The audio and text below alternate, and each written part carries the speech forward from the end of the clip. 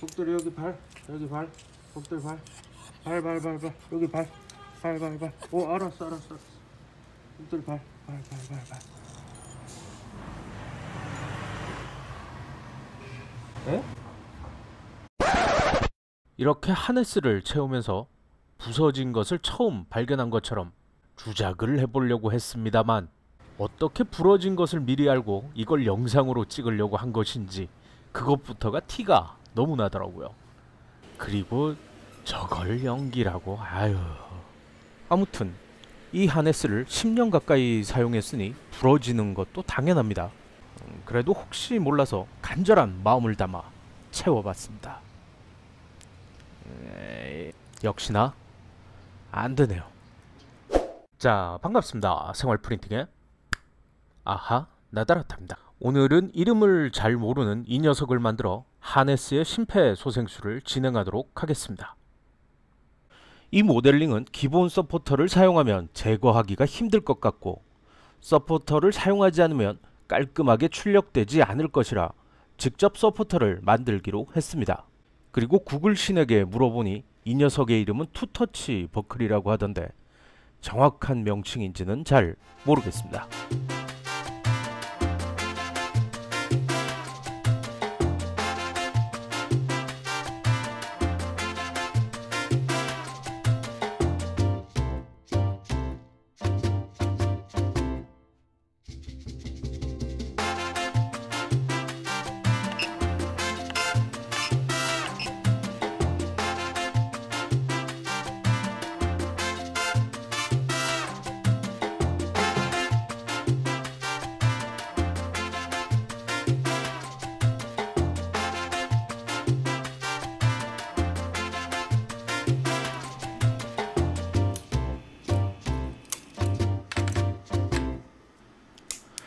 기존에 있던 버클을 제거합니다.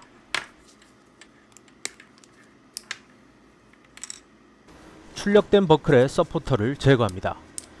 영상에서는 버클의 내부가 잘 보이지 않지만 깔끔하게 잘 출력되었습니다. 별도의 후가공 없이 사용해도 될 것 같습니다. 하네스가 박음질이 되어 있어 다시 뜯기 귀찮아 심지를 끼우는 형태로 만들었습니다. 순간 접착제로 꼼꼼히 붙여줍니다. 어. 어. 이. 빵꾸가 났습니다. 한 번 더 쓰려고 했는데 버려야겠네요. 체결이 잘 되었는지 당겨봅니다. 단단히 잘 체결됩니다. 장갑이 붙은 부분을 스틱 사포로 갈아줍니다.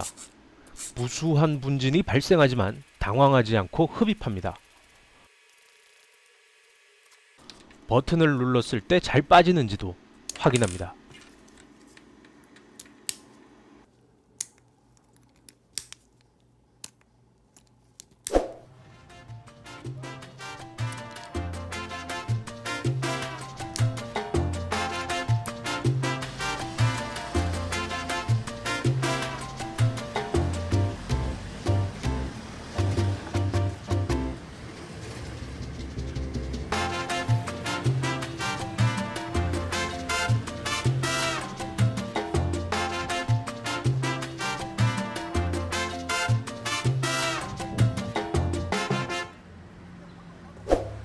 복들이도 큰 불편함은 없는 것 같습니다.